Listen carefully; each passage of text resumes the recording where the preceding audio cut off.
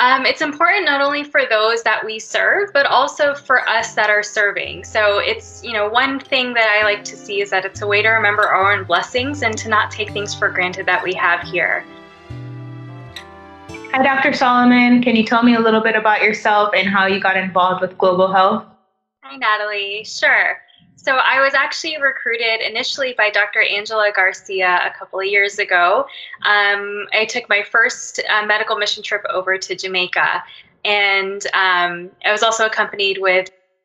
So um, that's really how we got into it. And Dr. Garcia really just showed us the ropes and showed me and Dr. Patel um, how to set up the pharmacy um, at each site that we went to. So we did a lot of preparation work, and when we were there, I really fell in love with the whole process of doing work um, at, at an international level. So, um, and it was really interesting to kind of get into the bare bones of pharmacy. Um, you know, not only just the dispensing piece, but the counseling piece and compounding and kind of bringing it back to the basics and also seeing a lot of really unique disease states that we don't typically see here in the States. Um, so, and it was really a good opportunity to kind of think on my feet and, and get into it that way. So from there, I got the bug and I did a couple of trips after that initial trip to Jamaica. Awesome. Well, thank you for sharing. So, why is global health important?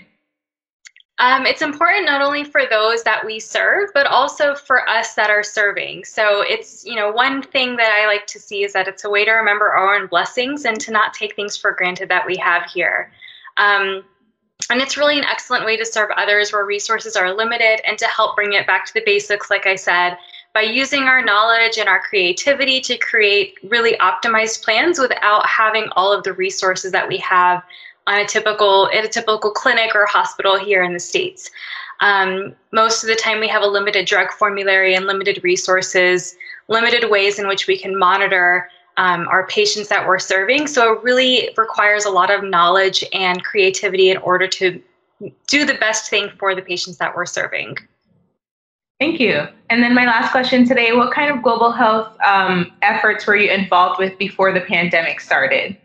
So, like I said, I first started out in Jamaica. So, I've done um, the Jamaica trip for a couple years, and I think three times we did Jamaica. And I've also done um, international work with my church in Fiji and also um, in Uganda as recently as last year. So, I'm really looking forward to travel being um, acceptable and safe again so that we can go back to traveling internationally so we can continue to serve those that um, in other countries besides our own.